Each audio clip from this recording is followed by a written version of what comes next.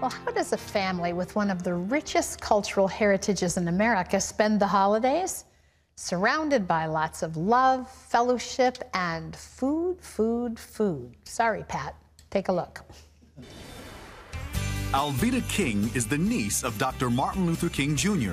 and the daughter of Reverend A.D. King. Alveda's family carries on the holiday traditions of her grandparents, Reverend Martin Luther King Sr. and Alberta Williams. The Williams King family celebrates by singing around the piano, posing for caricature drawings of the family, and of course, eating food, food, and more food. Most importantly, it all centers around the gift of Jesus Christ. Amen. And amen. Amen. Today, Alveda will share her family's delicious holiday recipes that bring laughter, love, and joy to their holiday table.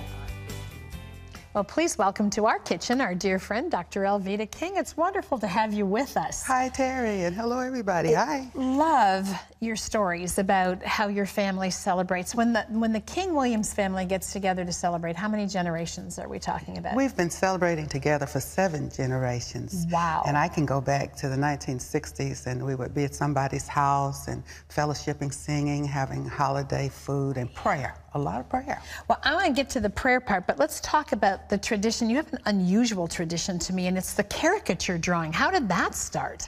Well, we met a caricature artist many, many years ago, and through our family celebrations now, Tony Smith, he's award winning, but he will come to our celebrations and do family caricatures. How fun. Mm -hmm. That's, that is wonderful. And you mentioned prayer, and you know, when I think of your family, I think of a family of prayer, and prayer has really sustained you through some difficult things over the years. What's prayer like for your family at the holiday? Absolutely. The family who prays together stays together. Amen. And even when there are differences, you can't be angry with anybody real long if you pray with them. It's impossible. so we found that out and we pray together and we love each other. A big part of the holiday for a lot of families is sharing a wonderful meal. Yes. And you're going to share with us something amazing today. I mean, I wish you could stand here with me and just smell this.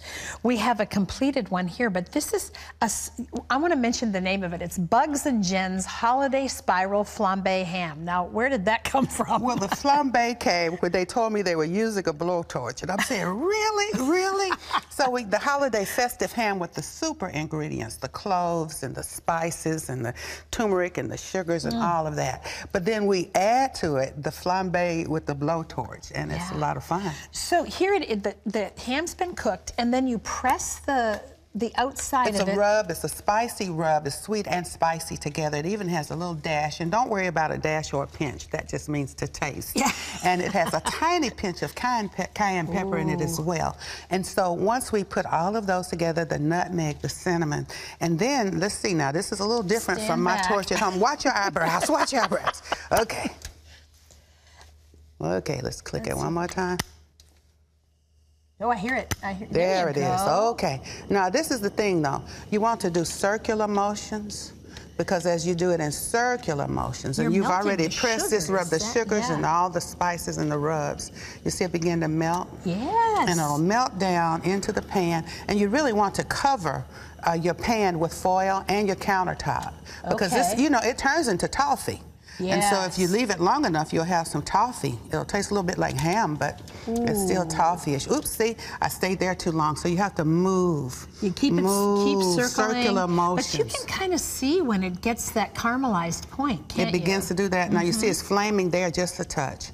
Beautiful. I said, you know, I asked the makeup folks, I said, if I burn my eyebrows off, would you come and put some hey, more they're on? great at that. Okay, Can yeah. I just? Yeah. They do But there you go. Morning. See, right there. And if you look in there, it's beginning. Yes. And, it's, and, it's shiny. Oh, you smell like that? You smell it? Oh, I boy. do. Mm-hmm. Mm, mm, mm. So you so do you that. It takes about 20 minutes. And once you get that done. And this is over the finished cooked ham. Yeah. So let me show you what it looks like when oh, it's okay. really done. Okay. Look at this. This is gorgeous. And I got a little piece here that I can. You see the cloves in there? You stick your cloves in. Oh my goodness sake. Okay, okay. And and really the great thing about it, the next morning with your scrambled eggs or whatever, have ham. The next day have a ham sandwich. Oh and so it takes you through the whole Alveda. holiday. Yeah. I'm coming to your house, girl. Come right on over. Come on. Wow, this is so now you've got a beautiful ham. Of course, this is presented beautifully as well. What else do you eat with this? Well, any salad that you like. And sometimes we have people who are sensitive to tomatoes, so we use the strawberries, and you can ah. see them there, and your nuts and your cheeses, and your vinaigrette. And it's very easy. You can get your olive oil, your lemon, and your seasonings of your choice, mm-hmm. Italian or whatever, and then you just drizzle that over there. And then isn't it pretty? You see the Oh, it's colors, the colors of that. And, and then the gluten-free stuffing Huh. because some people don't like gluten. So make your gluten-free cornbread, and then you add your Ah. sage, your cranberries. We put the cranberries in there, fresh rosemary off of my deck because we grow all the herbs, and so Of you've got the you gluten-free cornbread. yeah, yeah, yeah.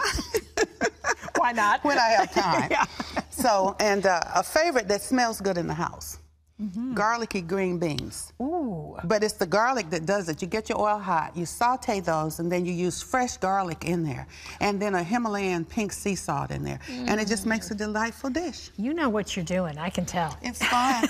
it's fun, and, and then sis- It's also beautiful. well, and the colors. You see the colors, red and mm-hmm. green, and then Sister Bennett. She's a preacher's wife, good friend of the family, and she taught me how to make sorrel.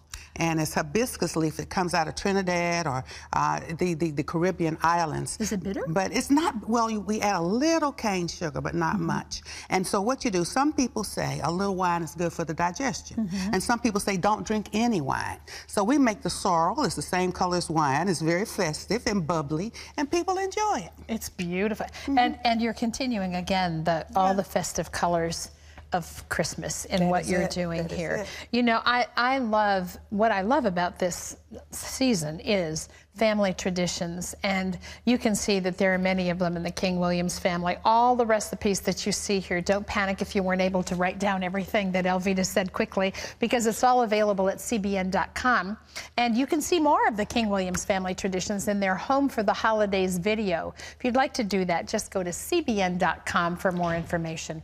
Merry, Merry Christmas, to my you, friend. dear. Thank you. The Lord bless you. God bless you mm-hmm. too.